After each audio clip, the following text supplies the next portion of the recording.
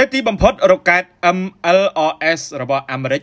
នឹងត្រូវបញ្ជូនទៅអ៊ុយក្រែនដើម្បីប្រឆាំងនឹងរុស្ស៊ីនៅក្នុងពេលឆាប់ឆាប់នេះហើយមន្ត្រីនឹងសភាអាមេរិកមានប្រសាសន៍ថាប្រធានាធិបតីអាមេរិកលោក Joe Biden កំពុងរៀបចំបញ្ជូនប្រព័ន្ធរ៉ុកកែតរយៈចម្ងាយឆ្ងាយ MLRS ទៅកាន់ប្រទេសអ៊ុយក្រែនគណៈដែលប្រទេសនេះទទួលរងការខូចខាតនៅភូមិខាងកើតដោយការវិប្រហារពីកម្លាំងផ្ទាប់រុស្ស៊ី ចំពោះវិមានក្រំឡាំងក៏បានឡើងកម្ដៅខ្លាំងដោយប្រមានទៅប្រទេសណាដែលហ៊ានផ្ដល់សភាវុធទំនើបទំនើបទៅដល់អ៊ុយក្រែន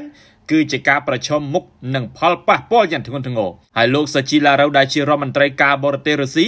ក៏បានបញ្ជាក់ទៅកាន់លោកខាងលិចផងដែរថា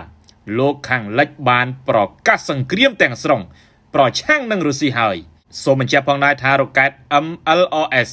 គឺជារថភេទដែកដែលបំពាក់គ្រាប់រ៉ុកែតចំនួន12គ្រាប់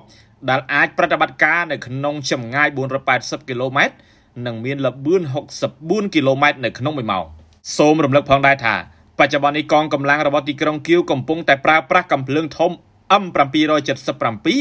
ដែលបញ្ជូនដោយសហរដ្ឋអាមេរិកនិងសភាវុធទំនើបទំនើបផ្សេងទៀតដែលក្នុងនោះរួមមានកាំជ្រួច Stinger ដែលជាប្រព័ន្ធកាំជ្រួចល្បឿនលឿនជាងសំឡេងដែលមានទម្ងន់15គីឡូក្រាមនិងត្រូវបានរចនាឡើងដើម្បីប្រឆាំងនឹងយន្តហោះចម្បាំងដោយវាប្រហារពីដីទៅលើអាកាសព្រមទាំងកាំជ្រួចប្រឆាំងនឹងរថក្រោះចល័ត Javelin ដែលវាមានសមត្ថភាពអាចប្រឆាំងនឹងរថពាដែកនិងរថក្រោះធុនធ្ងន់ទាំងអស់